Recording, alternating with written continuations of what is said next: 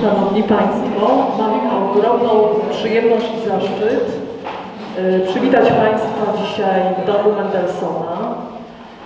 na otwarciu Festiwalu Literatury Atlantyda Północy. Y, Jako Borussia mamy y, ogromną przyjemność współpracować z Miejską Biblioteką Publiczną, jak również z Instytutem Północnym przy organizacji tego wydarzenia, które dzisiaj ma swoją inaugurację. Pozwólcie Państwo, że zanim przejdziemy do dzisiejszego tematu, oddam głos y, panu Krzysztofowi Tomkowskiemu, dyrektorowi Miejskiej Biblioteki Publicznej, która jest inicjatorem festiwalu. Dziękuję Kornelio. E, Chciałbym na początku podziękować e, Borusi, e, Ewi i Kornelii. To są nasi solidni partnerzy i po raz kolejny uczestniczą w naszym projekcie i po raz kolejny inauguracja festiwalu nastąpiła w Borusi, z czego się bardzo cieszymy. E, oprócz tutaj partnera Borusi, Miejskiej Biblioteki, jak Kornelia wspomniała, e, naszym partnerem również jest Instytut Północny i zapraszamy 29 czerwca na zakończenie y, festiwalu w Instytucie Północnym odbędzie się kermasz książek y, poświęconych regionowi Warmii i Mazur, a oprócz tego również będzie y, projekcja filmu Dolina Lissy, bo jak Państwo zauważyli, rozpoczynamy reklamę o postaci spotkania z Czesławem Miłoszem, którego będzie reprezentował Krzysztof Czyżewski. Tak, ogranicza Sejm, trzeba przedstawiać, jak również spotkanie po- poprowadzi wybitny poeta, eseista, felietonista, prozaik Kazimierz Prakoniecki.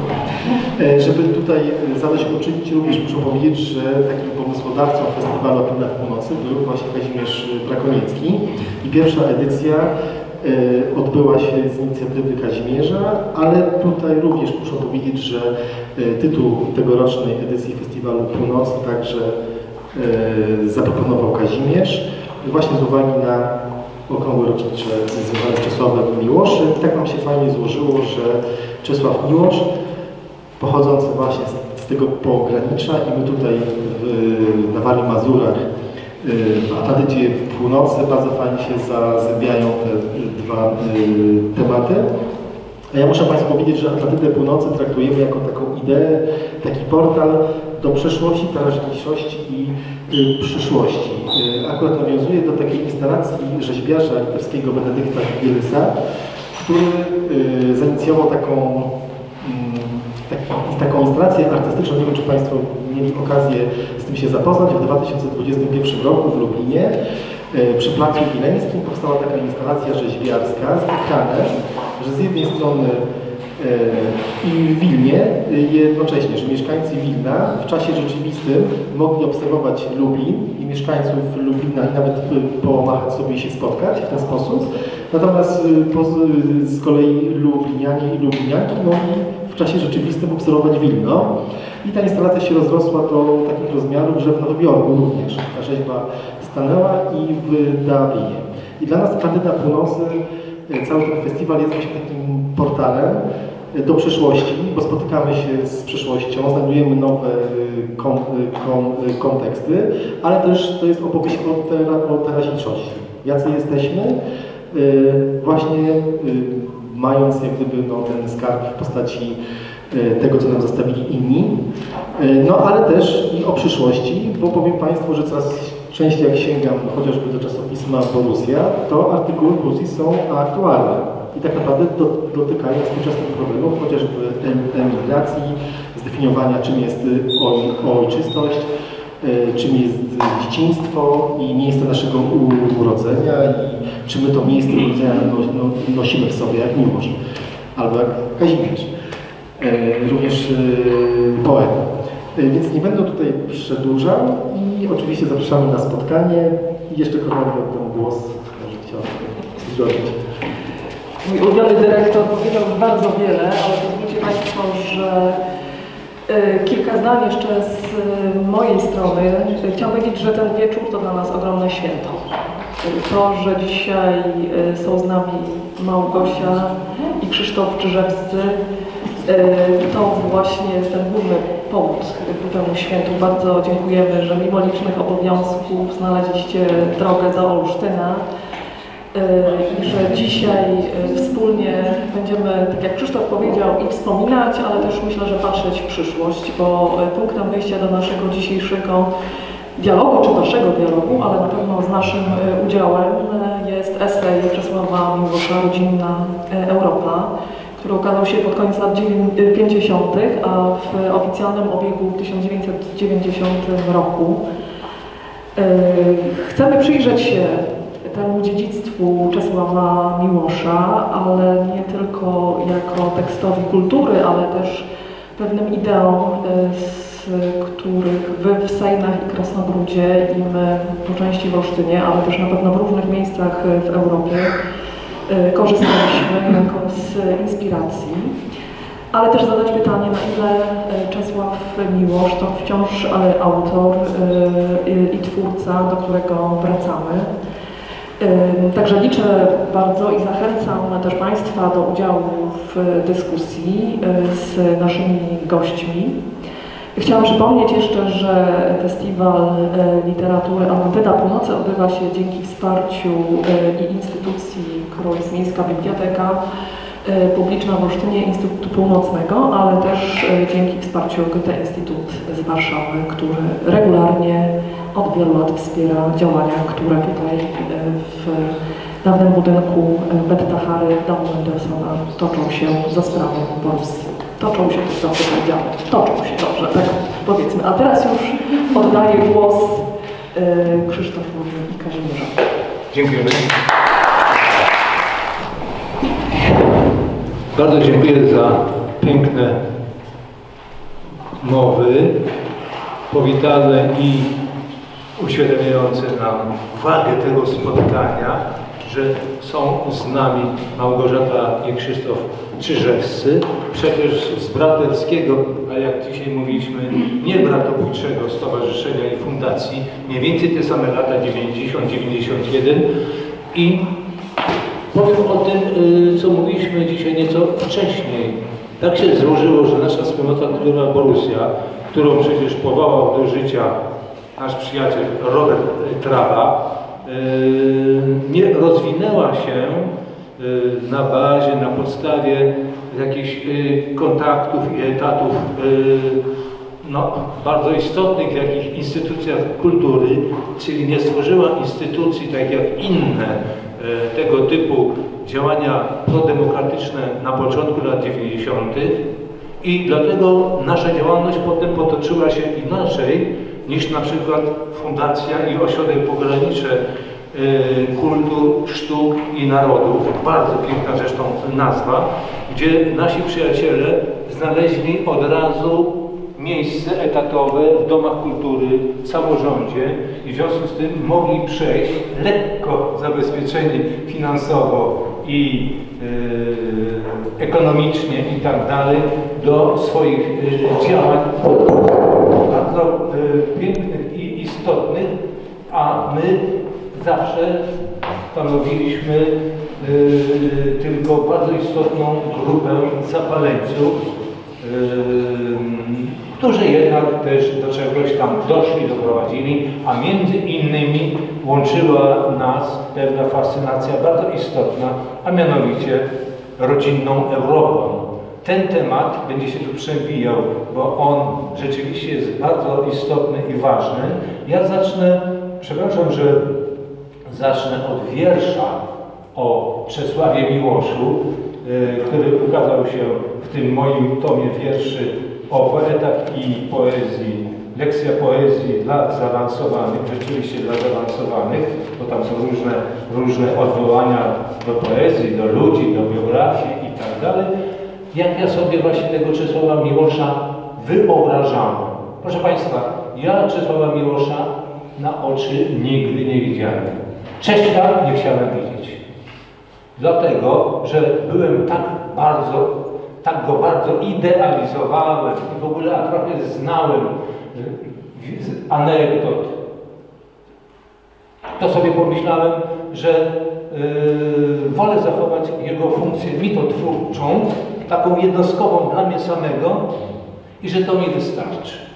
I będziemy o tym mówić, że Krzysztof Czyżewski, nasz wspaniały przyjaciel i obecny tutaj animator niesamowitych rzeczy działających się nie tylko na pograniczu naszym, ale w Europie Środkowo-Wschodniej, współpracował, rozmawiał i był obecny przy Czesławie Miłoszu i będziemy w tym kierunku szli.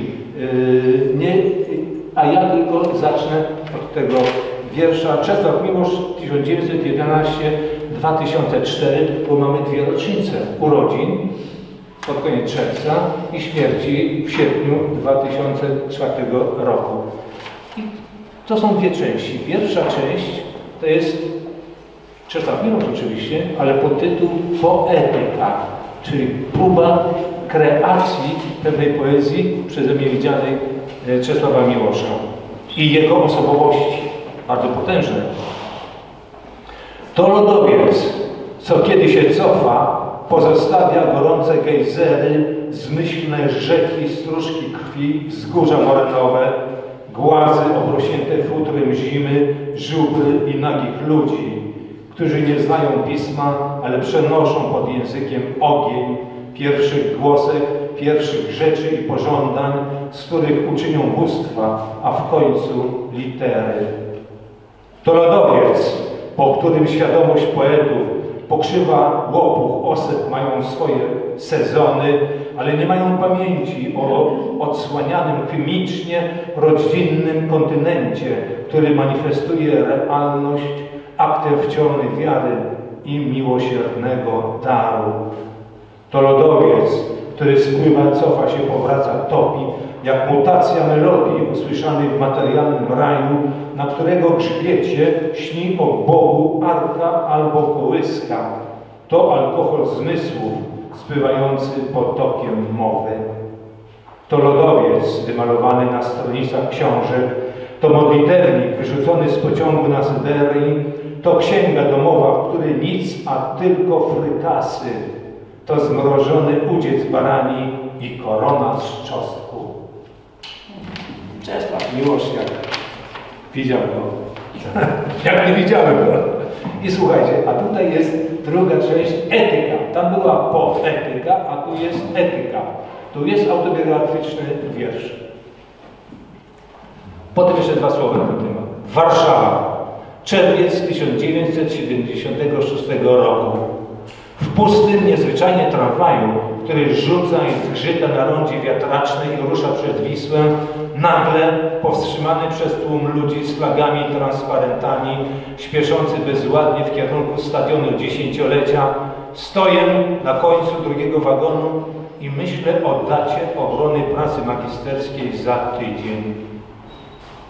Jeżeli dojdzie do strajków na większą skalę, to wyrzucą studentów z akademików i nie zdążę obronić dyplomu o poezji Czesława Mimosza, emigracyjnego, antykomunistycznego poety. Więc łaskawie patrzę na tłum maszerujący na stadion, aby manifestować patriotyczny gniew i oburzenie w cuglach komunistycznej władzy, której się udało z konsumpcji socjalistycznej uczynić opium dla ludu. Lud uwierzył w władzę, że będzie miał co jeść i pić, aż tu nagle zabrakło strawy i bat uderzył. Sumienie jednak mówiło, że zdradzam sprawę pobitych robotników w Radomiu, którzy mają rację.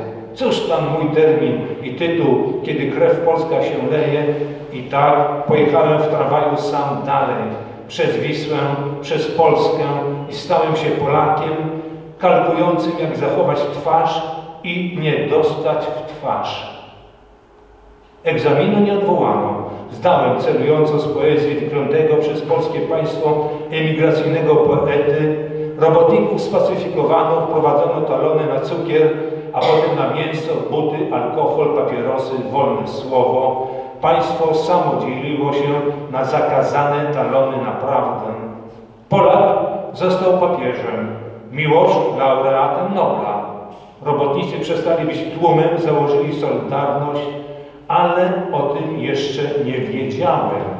Patrzyłem na idące mrowie z flagami ku czci komunistycznej partii i jedynie się bałem, czy przed wyjazdem z Warszawy zdążę zdać ten egzamin z poezji wroga Polski Ludowej. Czyli mamy zawierowanie historyczne, autobiograficzne, no i próba poetyki yy, tej poezji Czesława Miłosza, która rzeczywiście za, zawładna, zawładnęła różnymi elementami, konkretami, yy, historiozofią, jak sam powiedział w pewnym momencie yy, w czasie II wojny światowej, że nie chciał być poetą l'art pour l'art, czyli la poésie pure, ale nie chciał również być poetą publicystycznym, jak mu się zaczęło, jak startował z tym poematem o czasie zastygłym. Chociaż to jest bardziej skomplikowane, ale ja e, e, będę upraszczał, upraszczał to i wtedy po lekturach, a szczególnie lekturach poetów angielsko, e, angielskich i angloamerykańskich, bo Eliot potraktować, uświadomił sobie, że on będzie pisał poezję, która jednocześnie jest historyczna, i indywidualna, że nie opuści nigdy swojego autobiografizmu, który będzie poszerzonym punktem widzenia na rzeczywistość dookolną i opiera się i oprze się nieufnie, ale jednak na pewnej podmiotowości zamieszkiwania, wygnania, katastrofy, chociażby w tym wypadku katastrofy wojennej, gdzie punktem centralnym nie będzie tylko dajmy na to projekt społeczno-politycznej rewolucji, ani projekt teologiczno-kościelnej pewności, ale rodzaj wątpienia, które będzie pewnym świadectwem XX wieku. Stąd między innymi tytuł Ocalenie. Nie tylko, że myśmy ocaleni w czasie wojny, ale on ocalił to, co jest dla niego było bardzo istotne. No, nazwijmy tak święte słowo poezji, które jest nośne, a nie tylko chwilowe, e, tymczasowe. Wracając do rodziny e, Europy, ja to miałem szczęście, że jak Marek Zaleski, który ze mną e, zdawał magisterkę, czy prawicowy pisarz Henryk Skwarczyński, mój dawny, dawny przyjaciel emigracyjny, to tak się złożyło, że myśmy mieli prawo, i potem ja to przedłożyłem w latach 80., ja wróciłem do Olsztyna, do czytania literatury emigracyjnej, tej zakazanej, której nie można było tak normalnie czytać. Nawet tu w Olsztynie pracowałem w bibliotece OBN-u, to jeździłem tam, podpisywałem sam i sobie mogłem wypożyczać książki i trochę poszerzałem swój, swoje imaginarium, nie tylko właśnie kulturowe, ale również społeczno-polityczne. I jedną z tych książek dla mnie bardzo istotnych była ta książka, którą tutaj mam, Rodzinna Europa. Niesamowite, ona bodajże w 1957 roku ukazała się w kulturze paryskiej. W Polsce normalnie w 90 bodajże roku, czy 89 y, roku to była moja y, Biblia, ale zobaczcie jaki wtedy był klej. Także to się wszystko potem rozpadało, a kosztowała ona, ta księga, 14 tysięcy 14 700. Niesamowicie, niesamowicie. No, teraz by kosztowała, no nie, ale po przemianie Balcerowicza by kosztowała 14 zł i 70 groszy, ale sam fakt jest historyczny. Inna rzecz, yy, też yy, szukanie ojczyzny, rozkładające się też strony. W latach 80. Yy, Czesława Miłosza wydawano w, w państwowych niektóre książki w państwowych wydawnictwach, ale właśnie z tymi elementami, że jest ocenzurowane. Nie chciałem pokazywać, bo bym zanudził, ale to też jest bardzo istotne na tej rodzinnej Europie. Rodzinna Europa jedną drogą, a nasza Europa, ta prawidłowa wschodnia, innym e, szlakiem idzie. Teraz krótko o naszej Atlantydzie Północy. Nie możemy przecież o niej za długo mówić, bo przecież my, Borussia, nasi przyjaciele, wszyscy tworzyliśmy ten, e, ten punkt widzenia, e, który przez jakiś czas trwał.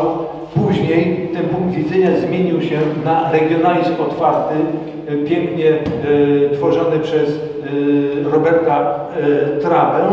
I dla nas ten punkt widzenia to był Atlantyk Północy, to było to, że jesteśmy tutaj, że zamieszkujemy. Bardzo ważny dla mnie był wtedy też oprócz Czesława Miłosza Heidegger, zamieszkiwać, nie tyle zakorzeniać się, ile zamieszkiwać poetycko na ziemi, od dolnej Wisły do dolnego Niemna. I my tutaj, jako ci spadkobiercy pewnej cywilizacji, Ja sobie uświadomiłem y, to dosyć bardzo wcześnie, dlatego że zawsze lubiłem słuchać, co starsi mówią, y, jakie tu urodziłem i mieszkałem na ulicy Jędrzyka, w domu, w którym mieszka teraz Korolina Kurowska. Tam były rodziny polskie, niemieckie, warmińskie, y, mazurskie, kurpiowskie i to mnie nieustannie stykało z, pewną niejednoznacznością sytuacji tożsamości. I to pytanie było dla mnie istotne. Przez wiele lat nie mogłem tego pytania zrealizować, chociaż myślałem, że założę czasopismo Żagary już w 80 roku, jak był, jak był ten moment. Nie tylko ja myślałem, ale w 56 w Toruniu takie były pomysły i inni to mieli. Na szczęście pojawił się Robert Trawas, który nas wciągnął w to rewolucyjne, ale wtedy yy, liczne yy, od e, kształcanie naszej rzeczywistości i dla mnie Atlantyda Północna niczym innym było jak tym kontynentem, na którym mieszkali inni. My teraz jesteśmy, ale kochani, ja nigdy nie miałem naprawdę żadnego kłopotu ze zrozumieniem, z tożsamością tego miejsca, w którym się urodziłem. Powiem Wam szczerze, ja uważałem tak, nie my rozpoczęliśmy tę wojnę, tylko hitlerowskie Niemcy. Nie my przegraliśmy tę wojnę, tylko hitlerowskie Niemcy, a my dzięki zbrodniarzowi Stalinowi znaleźliśmy się na, w najpiękniejszym miejscu na ziemi, chociaż moja matka urodziła się na Kresach i tak dalej, to ja cały czas cywilizacyjnie jestem za właśnie położeniem Polski w kierunku zachodnim. Piszę o wschodzie, o rodzinie sporo, ale politycznie, historiozoficznie, tożsamościowo i przede wszystkim jeżeli chodzi o bezpieczeństwo Europy Środkowej i Polski, jest to kierunek zachodni. Jeżeli nie myślimy o poezjowaniu Czesława Miłosza czy Kazimierza Rogańskiego, tylko mówimy o realiach polityczno-społecznych, w których byliśmy, jesteśmy, będziemy.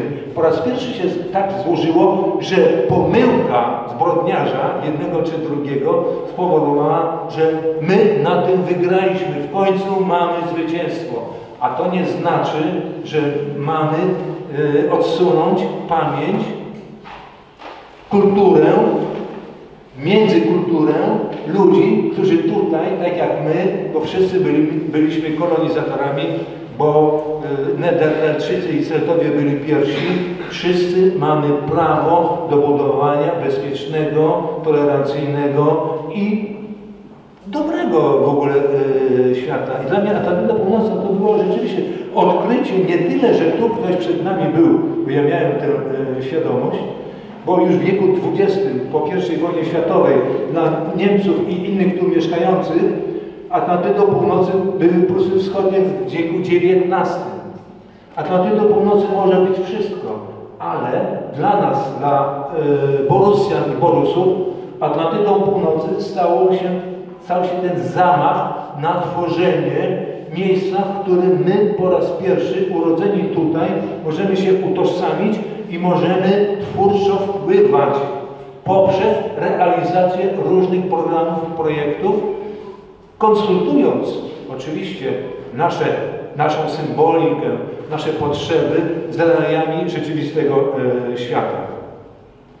I tyle o tej naszej ukochanej Borussii i o Atlantydzie Północy. Nie wspomnę wystawy, która nam przypominała, jak to onegdaj y, tutaj było, y, rustykalnie, jak wprowadził, jak wchodził tutaj przemysł, który likwidował Atlantydę Północy. To są rzeczy nat- naturalne. I teraz zwracam się do Krzysztofa y, Krzyżewskiego, do rodzinnej Europy, tak mi bliskiej, bo rodzina Europa jest to zarys bardzo autobiograficzny yy, jego życia, do, do końca nazwijmy go tak, do, do lat yy, 50., kiedy on sobie uświadamiał, uświadamiał utratę i nostalgię. Nam yy, ta utrata i nostalgia yy, miała służyć budo- budowaniu nowej tożsamości. I on zauważał właśnie w tym spotkaniu z ojczyzną to najnowsze pokolenie, wtedy najnowsze, urodzone lat 50., jak Chwin, Hülle i my również z Borussii, które nagle chce odzyskać po raz pierwszy naprawdę ziemię odzyskane w cudzysłowie, ale jednak i on się sam pytał, czy to jest możliwe, bo ja swoją Europę rodzinną utraciłem. I rzeczywiście punkt y, centralny, jego Europa rodzinna, to pamiętajcie, to jest Europa przede wszystkim sprzed I wojny światowej.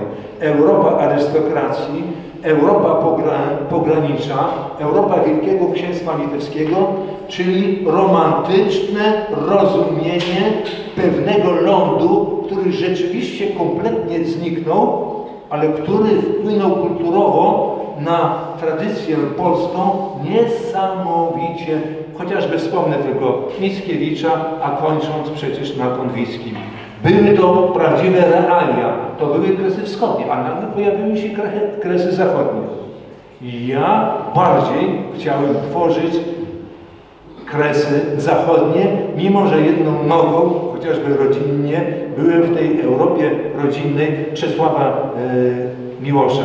Krzysztofie, zacznij Ty teraz mówić o Twoim rozumieniu już nie Atlantydy Północy, wszędzie ją znajdziemy, przecież i u Was też, ale o Czesławie Miłoszu, który tutaj jest przecież naszym tym i dla Ciebie i dla mnie, był to autentyczny guru, e, idol. Zawdzięczam mu poprzez lekturę niez- niezmiernie. Ty również obcowałeś z nim z jako żywym niedźwiedziem litewskim. Dziękuję Kasiko. Ale wiele wątków tutaj poruszyłeś, e, które mnie zainteresowały bardzo. Nie wiedziałem, nie pamiętałem o tym, że pisałeś pracę magisterską. Jako jeden z pierwszych w Polsce No właśnie. Mi się wydawało, że pa, parę lat po tobie pisałem jeden z pierwszych. Ale byliście wcześniej z Markiem Zaleskim. E, Ta historia mojej pracy magisterskiej zresztą ma, okazała się jednak ważna, bo my nasze spotkanie z Czesławem Miłoszem e, było dosyć zaskakujące. Spotkaliśmy się, jak można, jeśli ktoś w to wierzy, przypadkiem na tej naszej sejneśczyźnie. E, I byliśmy tak skonfundowani, że po prostu żeśmy sobie się przedstawili jedynie. On powiedział, jestem Czesław Miłosz, i tam żeśmy się też przedstawili, każdy poszedł w swoją stronę, bo nie mieliśmy odwagi jakby z tym dłużej mówić.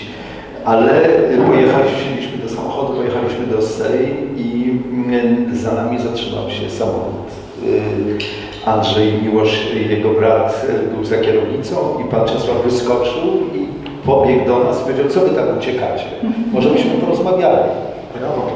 I y, wtedy sobie, i potem doszło do takiej nocnej rozmowy, która była bardzo dla nas zasadnicza.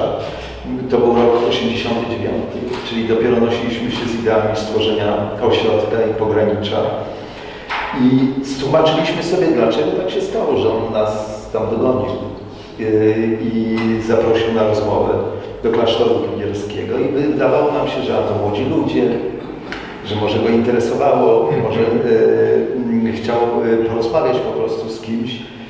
I dopiero niedawno yy, jak yy, doktorantka, która pracowała w Bajnek Library w archiwum Miłosza, wysłała mi list, w którym napisała, słuchaj, czy wiesz, że w archiwum Czesława Miłosza znajduje się Twoja praca magisterska.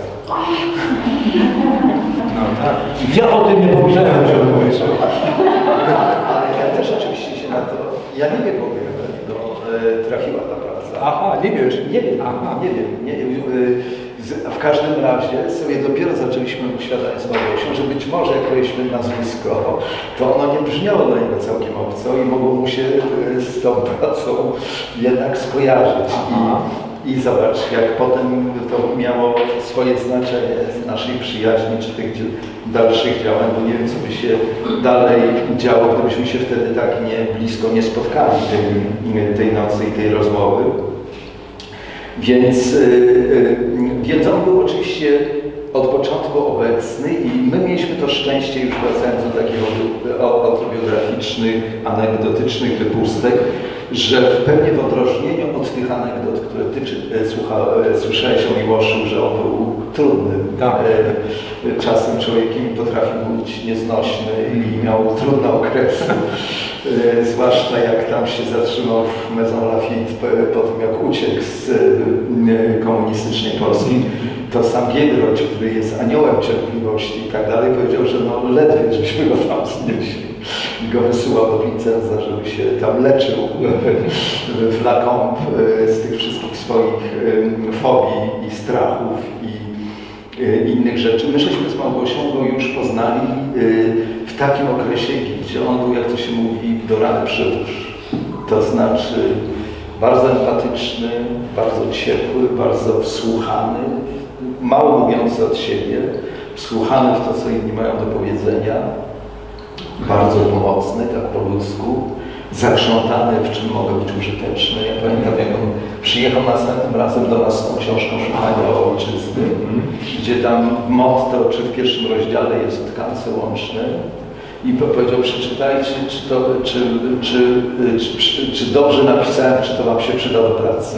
Czy zostawił nam tą książkę, bo to pierwsze spotkanie, ta noc pierwsza, dotyczyła też języka i to jest może właśnie y, ten jeden z ważniejszych warsztatów, które myślę i Wy w Borusji i my w pograniczu musieliśmy stworzyć. To znaczy nie mieliśmy języka do nazwania tej rzeczywistości, y, y, która była pograniczną że język, który odziedziczyliśmy po historii XX wieku, był językiem konfrontacji, obrony własnego,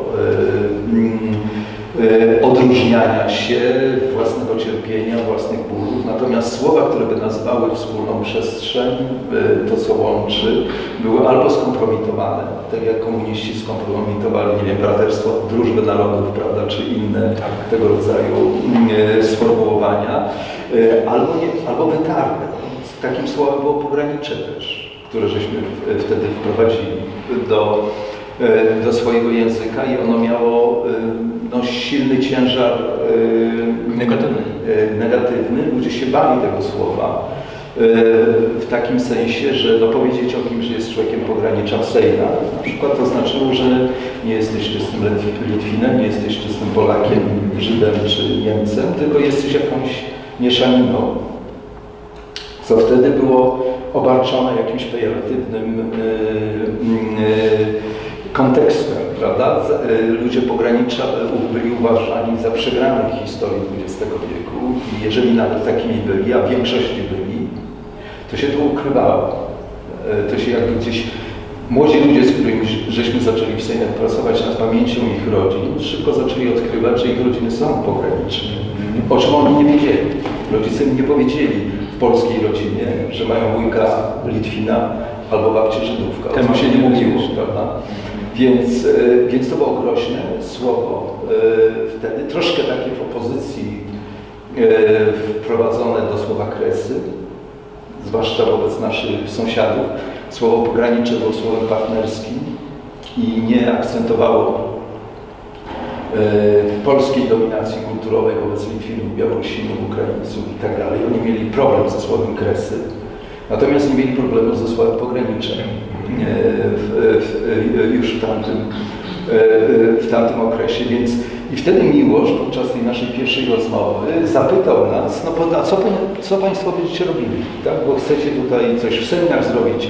I my nie mieliśmy słów na to, żeby w ogóle to opowiedzieć. I on wtedy nas zostawił na jakiś czas Andrzejem tylko, zaczął chodzić niespokojnie, ta, ta niemożność językowa jakby nie dawała mu spokoju. I podszedł po jakimś czasie do nas i mówi, wiem co będziecie robili, będziecie budowali tkankę łączną. Ja pamiętam jak się to słowo, bo to jest tak jak pamiętasz w tym jego wierszu do japońskiego poety Issa, co, nie jest wypowiedziane zmierza do nieistnienia, co, co jest wypowiedziane nabiera jakiejś esencji egzystencjalnej i ta, to się wtedy wydarzyło, bo żeśmy poczuli, że jest jakaś rzeczywistość za tym słowem, za tym sformułowaniem, którą musimy e, zgłębić. I ona jest bardzo konkretna. Że, e, czyli, że tkanka łączna jest jakby istotą samego pogranicza, że tak jak nasz organizm może się składać z różnych komórek osobnych,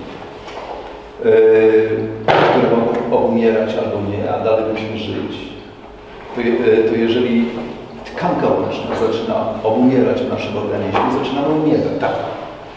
I zresztą niedawno lekarze mi powiedzieli, ja pamiętam miałem takie spotkanie z Ryszardem Klimickim na temat y, mojej książki, która się nazywa Tkanka Łączna i wtedy wstał taki lekarz, to było w Krakowie i powiedział, nie wiem czy panowie wiecie, że choroba tkanki łącznej staje się chorobą naj, najważniejszą chorobą cywilizacyjną od strony medycznej również, że to jest jedna z głównych chorób, która zaczyna dotykać ludzkość. Myślę, że to samo dotyczy kwestii społecznych. My chorujemy na zanik tkanki łącznej jako społeczeństwa nowoczesne. I mówię też o tym, zmierzając w ogóle do istoty już do samej rodzinnej Europy. Bo w moim przekonaniu Miłosz napisał książkę wywrotową zupełnie, rewelacyjną na swój czas, nazywając ją rodzinna Europa. E, I, czyli nazywając jakąś całość, która została e, utracona i którą trzeba odrodzić. Jak, e, jak pracuję z, ze studentami, mam wykłady, zajęcia na Uniwersytecie Bolońskim i to są na, na naukach politycznych, czyli właściwie tacy studenci europeistyki, to lekturą obowiązkową, którą im zadaję, między innymi jest Rodzinna Europa. I proszę sobie wyobrazić, wyobraźcie sobie Państwo, że ja ich pytam, oni są nie tylko Włochami, oni są z Erasmusa, więc przyjeżdżają ze wszystkich krajów europejskich i pytam ich, czy, czy sobie potraficie przypomnieć, czy znaleźć w swojej kulturze, w swoim języku książkę z 59 roku, nawet niech to będą lata 60., które by nazywało tak pisało o Europie, tak jak Miłosz wtedy pisał, jako o jakiejś wspólnocie kulturowej. Nie ma, nie potrafili znaleźć w żadnym języku europejskim z tamtego czasu książki. Były manifesty Schumana No tak. wtedy, ale one były e, e, takimi, e, no dzisiaj byśmy powiedzieli, idealistycznymi projektami, prawda, które nie, natomiast Miłosz pisze jakby z całej materii tragedii Europy i próbuje znaleźć język, narrację do tego, żeby tą Europę odrodzić.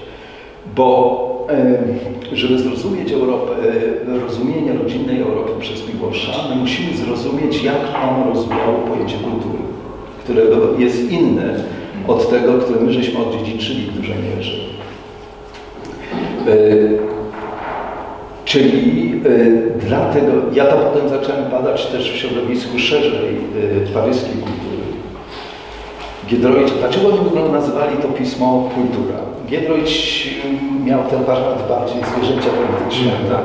e, e, niż e, kulturalnego. Natomiast jeżeli się czyta te pierwsze teksty Herlinga Grudzińskiego, takie manifesty założycielskie paryskiej kultury, to oni odczytali II wojnę światową e, jako zdradę przez Europę kultury. Ta, jak to Miłosz pisał w traktacie moralnym, e, epoka, czyli zgon, ogromne delikwidacją, jak pamiętasz, to była zdrada Grecji, zdrada kultury e, europejskiej, czyli nie zdrada, czy nie unicestwienie polskiej, francuskiej, włoskiej kultury, tylko kultury europejskiej. I my żeśmy właściwie po tym okresie nigdy do wymiaru kultury europejskiej nie powrócili. Stworzyliśmy i tworzymy do dzisiaj Europę kultur narodowych która, i co jest oczywiście ważne i, i ma taki poziom bardzo zrozumiały, zwłaszcza emancypujących się kultur, prawda, języków, państw nowych, e, po wiośnie ludów tworzonych. No, chcieliśmy mieć, dojść do głosu z własną kulturą i to był trend zupełnie zrozumiały, modernistyczny, prawda, że broniliśmy swoich języków, swojej emancypacji narodowej, tożsamości narodowej swojej kultury polskiej, litewskiej, e, ukraińskiej i tak. Natomiast równolegle do tego, żeśmy za, zapomnieli albo w ogóle za, e, zaniechali tego wymiaru wspólnego, wspólnotowego, czyli rozumienia kultury jako tego, co wspólne. Bo gdybyśmy Miłosza zapytali, jak on rozumie kulturę, Mia, mam z nim taką anegdotę, którą może teraz y, akurat odnośnie do tego powiem.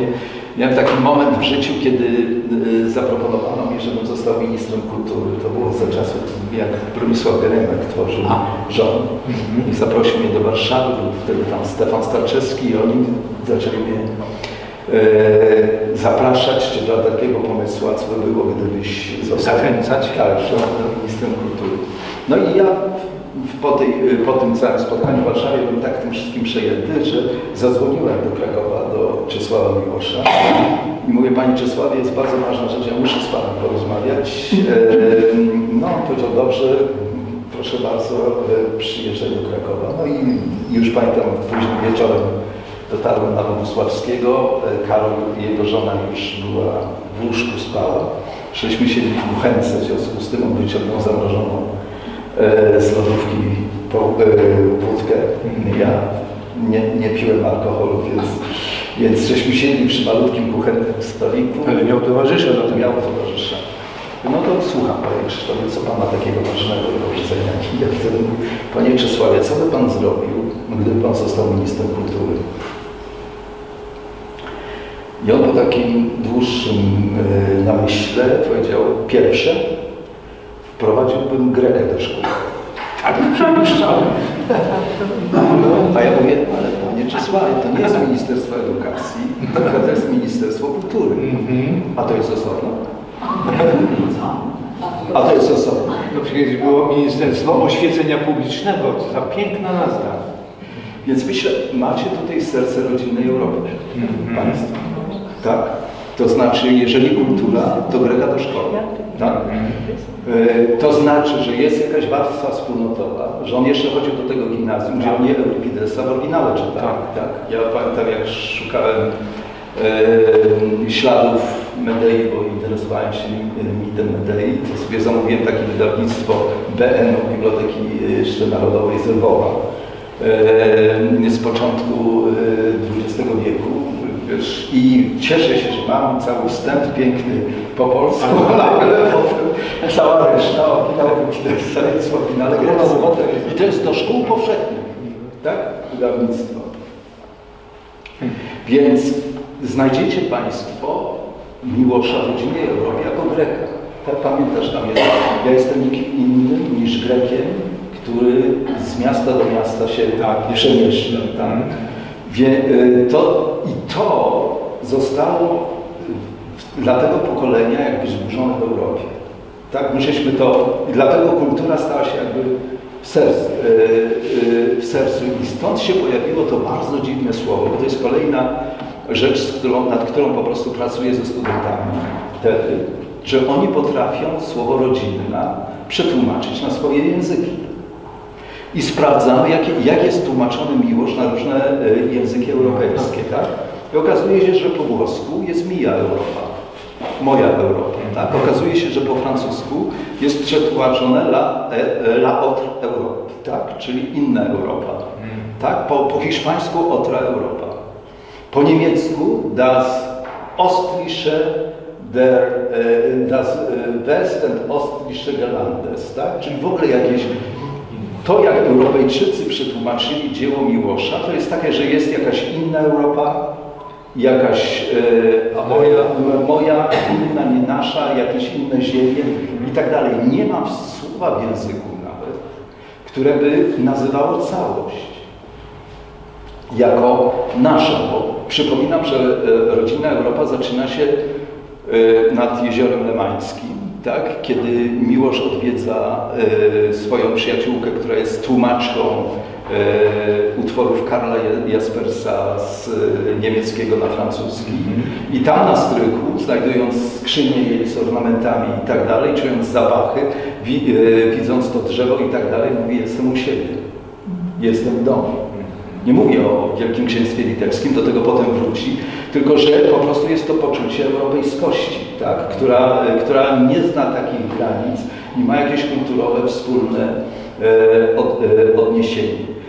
To jest, wydaje mi się, że my jesteśmy cały czas, znaczy, że Rodzina Europa Miłosza, moim zdaniem, to jest ciągle rewolucyjna książka do czytania dzisiaj i jutro w Europie, bo my żeśmy my ją utracili. To jest, projekt dopiero do wykonania e, dla nas, nowych Europejczyków i tak dalej. Że zwróćcie uwagę Państwo, że mamy Europę jako projekt ekonomiczny, gospodarczy najpierw, prawda, jako tą wspólnotę węgla i stali. Potem mieliśmy projekt polityczny, mamy Unię Europejską, natomiast ciągle nie mamy Europy jako projektu kulturowego. prawda? Tutaj muszę y, się wtrącić, bo on tutaj zaznacza, a potem y, w różny sposób interpretuje i jednak w końcu utożsamia się, a mianowicie z bardzo silnym pojęciem judeo-chrześcijaństwa i rolą silną y, Kościoła. Więc Greka i Rzymianie tak, ale pierwsze główne przedłużenie jest to y, Kościół katolicki. Nie, y, nie mówimy o innych elementach, tylko właśnie tutaj Tak, następny rozdział wychowania katolickie. Tak, wychowanie katolickie i on twierdzi, tutaj nawiązuje tylko, przypominają sobie e, rodzinną Europę, że e, dziecko, które nie przeszło przez lekcję religii katolickiej, nie może być dobrym Europejczykiem. Pisał to w latach 50. I to jest też pewne zadanie, pewien pomysł, e, zgadzamy się lub nie, ale to też jest ten poziom, o którym się mówi, dorzucając jakby jeszcze oświecenie, jakby y, to, co stało się później, bo z Kościoła i z religii wywodzi się stwierdyzm, wiedza, nauka i oświecenie. Można to w jakiś sposób obronić, ale rzeczywiście powiedz mi, bo ja to z książek oczywiście wiem, że y, ten składnik tożsamości Europejczyków był w jego rozumieniu i twórczości bardzo silny. Czy on w rozmowach z Tobą wspominał o tym? Bo on cały czas klękał przed wielką tajemnicą i obecnością już nie tyle religii, bo on by powiedział, że on nie był prawowiernym katolikiem, ale był człowiekiem, y, ale był chrześcijaninem, że jednak Kościół tutaj mocą swojego majestatu trwania nie trwożył go, ale go zdumiewał i był pewnym problemem petenikiem. odpowiem, Kaziku tak, bo tam nie ma takiego zdania, że, że nie można być Europejczykiem, jeżeli się nie jest katolikiem. Tak? Ro, rozumienie Miłosza jest inne. To znaczy, Nie, jeżeli nie, nie przejdzie dziecko e, lekcji religii y, w szkole, wtedy nie ma szans na zrozumienie tu, w rodzinnej Europie. Tak. Znaczy, ja myślę, że u Miłosza jest tak. To znaczy, że on, to dobrze, że mówisz o tym, że on miał sam problem Mhm. y, z y, swoim katolicyzmem Tak, i tak tak. dalej, ale postawa Miłosza jest w tym, w tym sensie dla mnie ciekawa, że on y, rozstrzygał takie sprawy, y, Mhm. nie uciekając od nich, to znaczy nie, nie zostawiając ich za sobą, nie zmieniając się, nie konwertując, nie dokonując konwersji i tak dalej. Znaczy był zbuntowany, miał problem i ma e, do, do końca z różnymi formami ortodoksji, nacjonalizmu i tak dalej, ale zawsze uważał, że trzeba to z, zmieniać od środka, tak jak siebie e, mocno eksploatował krytycznie, Mhm.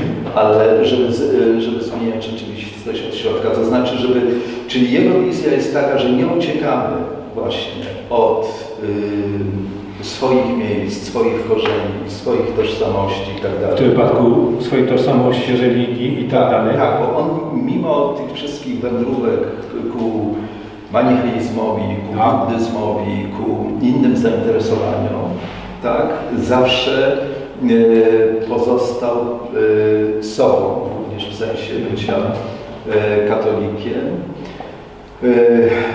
Właśnie w takim sensie, to znaczy, że, że świat mo, mogą ludzie zmienić, tak jak tą otwartą, rodzinną Europę mogą tworzyć ludzie, którzy dokon, dokonują tego otwarcia od środka. Zmie, y, mogąc, biorąc odpowiedzialność i mogąc dokonywać wewnętrznej przemiany, a nie uciekając. Czyli, i to można przełożyć też do tych naszych postaw odradzania małych ojczyzn, czyli Bo mi się tak wydaje, że, że mówiąc teraz już e, w dużym skrócie, że cała nowoczesność europejska nasza była jakby zdominowana przez ostatnie stulecia, co najmniej dwa, przez dwie bardzo silne narracje. Jedna to była narracja narodowo-nacjonalistyczna, która od pewnego momentu ten nacjonalizm zaczął stać się nienawistny, stawać się nienawistny, chociaż taki na początku nie był. Tak? W czasie wiosny ludów zupełnie inaczej wyglądało. Żeśmy kiedyś opublikowali taką świetną książkę Briana Pottera, e, od kiedy nacjonalizm zaczął nienawidzić. I on dokładnie śledził ten proces, kiedy modernizacyjny, nowoczesny ruch suwerenności narodowej zaczął przybierać postać ideologii nacjonalistycznej. Podobnie było przecież y, z naszym. Tak, tak, tak. Na tak, przykład tak. Dmowski też wychodził od poczucia narodowości jako normalnej Tak, postawy wobec, a potem w faszyzmie. Tak. Tak. I drugi, czyli, czyli taki, i on do, do tej pory oczywiście trwa, ten, Mhm. jakbyśmy y, nie, nie, nie analizowali, on ma różne swoje odcienie narodowo-nacjonalistyczny, Y, a drugi nurt to był kosmopolityczny, tak? czyli taki, w którym y, przyjmujemy, decydujemy się, mając dosyć e, nacjonalizmu, prowincjonalności, zaściankowości i tego wszystkiego, co się z tym wiąże. E, W tym e, decydujemy się na obywatelstwo światowe. Zostawiamy te Sejmy, zostawiamy ten Olsztyn, jedziemy do dużych miast, jedziemy do metropolii i budujemy nowy świat. E, To było związane z industrializacją, z pozostawianiem za sobą również w- sensie ekonomicznym, szukania nowej pracy, swoich wiosek, swoich małych ojczyzn i tak.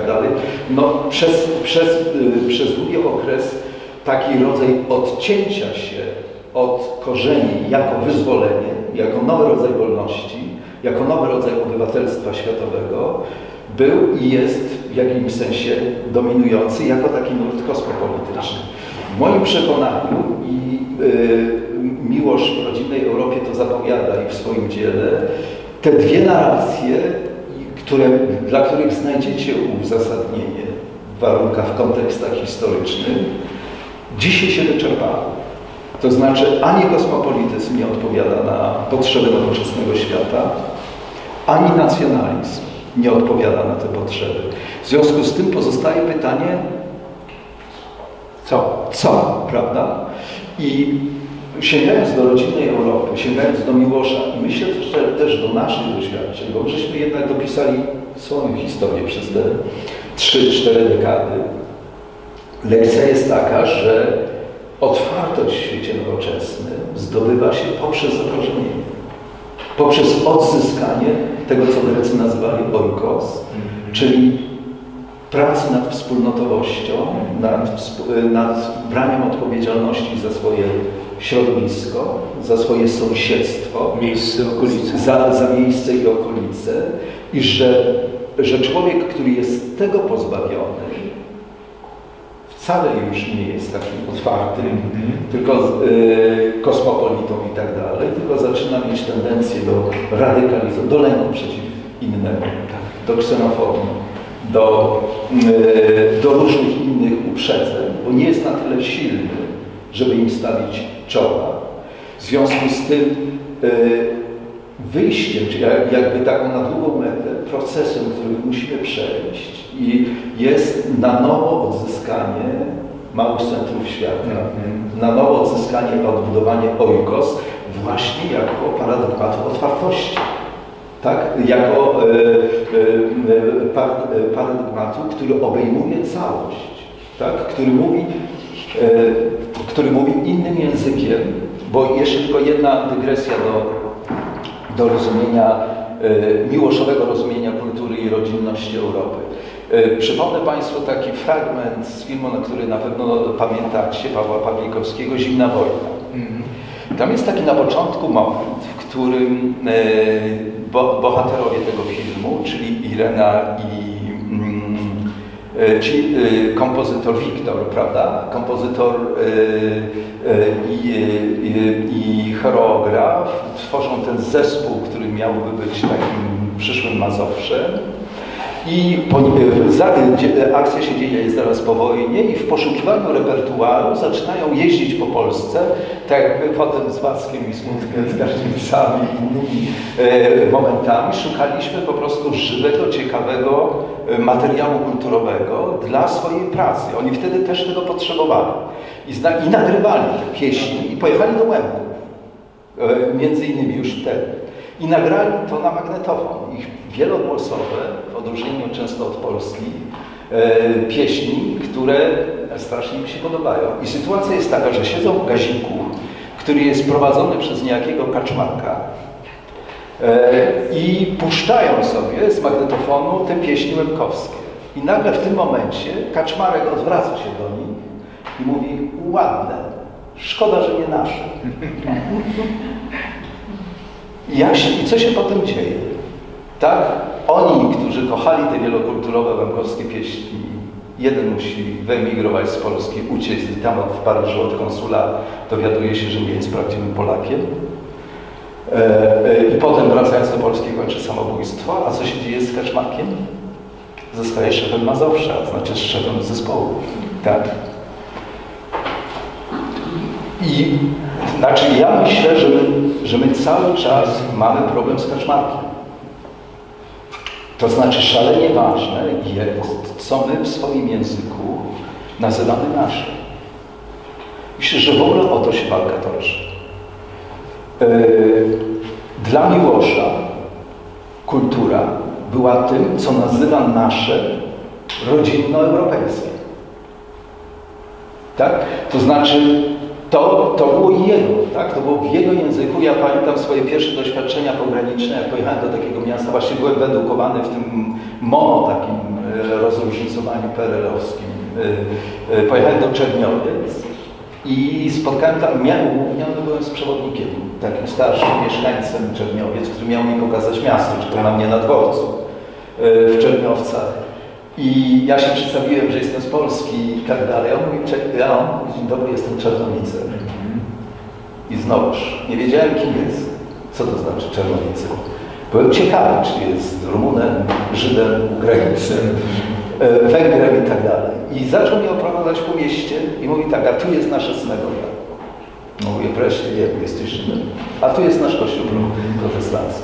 A to jest nasza cerkiew. A tu jest nasz kościół katolicki. Wszystko było jedno. Uwaga, dodam, a to nasz budynek partii komunistycznej. Tak, tak. Nasz, nasz, to znaczy Czernowice, tak. To był, co to znaczyło Czernowice? To znaczy, że obejmuje całe miasto.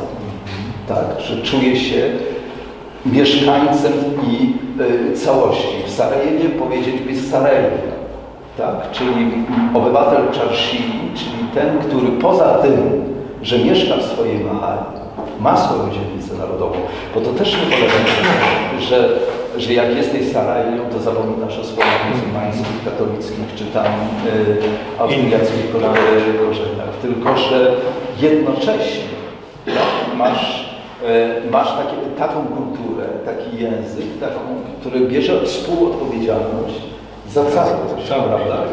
I, I rozumie kulturę jako coś, co łączy miasto w jedną wspólnotę i e, to jest, to jest coś, co żeśmy e, zatracili, o czym jest, co, co próbuje, bo to jest bardzo ciekawe, że on próbuje wytłumaczyć Zachodowi, co Europa utraciła. To jest taka książka, którą on napisał właściwie dla mieszkańców Zachodu,